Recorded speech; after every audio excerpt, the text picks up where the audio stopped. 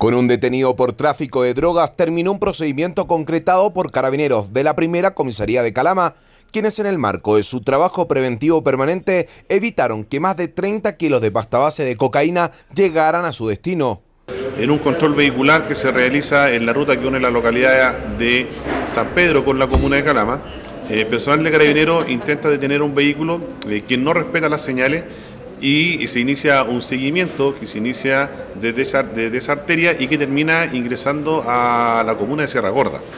Eh, durante el desplazamiento de este seguimiento, el conductor del vehículo detenido eh, arroja a un costado del camino una bolsa con contenido de droga, eh, con, que posteriormente se pudo ser revisada por parte del personal de S7, determinándose con un peso de 31 kilos 600 gramos aproximadamente. Por otra parte, este jueves en Tocopilla fue formalizado por el delito de homicidio un chileno de 30 años de iniciales ARC, quien atacó a un hombre con un arma blanca, quien finalmente falleció tras ser internado en urgencias en el hospital de ese puerto. De acuerdo a los primeros antecedentes, ambos sujetos habrían mantenido una discusión, lo que habría generado la agresión. Y con los antecedentes que se mantenían, más las versiones de testigos presenciales del hecho, eh, pudieron realizar un rastreo por las inmediaciones del sitio del suceso, del lugar donde ocurrió este hecho, eh, llegando a un terreno irregular adyacente a calle Socompa, donde se percata el personal de infantería que realizaba este recorrido,